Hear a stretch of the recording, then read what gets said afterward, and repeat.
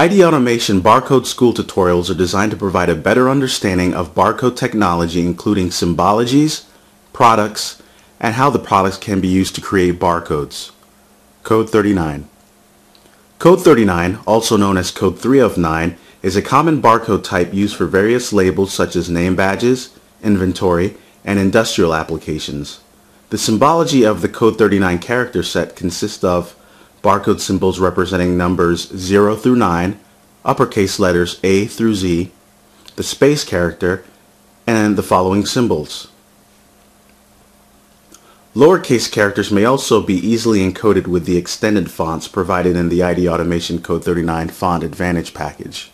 ID Automation Code 39 fonts may be created directly from the keyboard or used in a calculated field to dynamically produce multiple symbols in almost any application, including Microsoft Word, Excel, FileMaker, QuickBooks, and OpenOffice.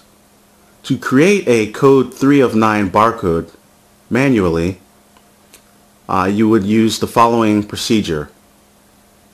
So for example, if we wanted to create a barcode uh, containing ABC123, we would use uh, number one, type in the start character, which is an asterisk, then enter ABC123, then finally type in the asterisk character as a stop character.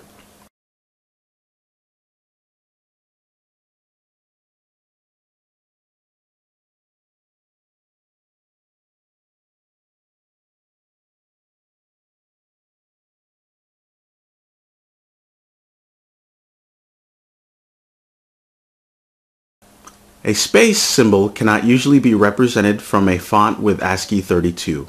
To overcome this problem in the Code 39 fonts, replace the symbol representing a space with the equal character.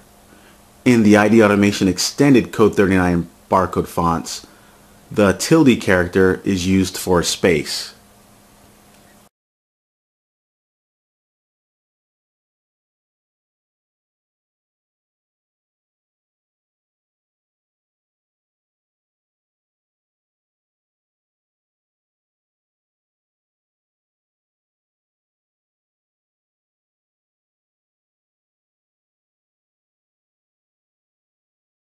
This concludes our tutorial for ID Automation Code 39 barcode symbology.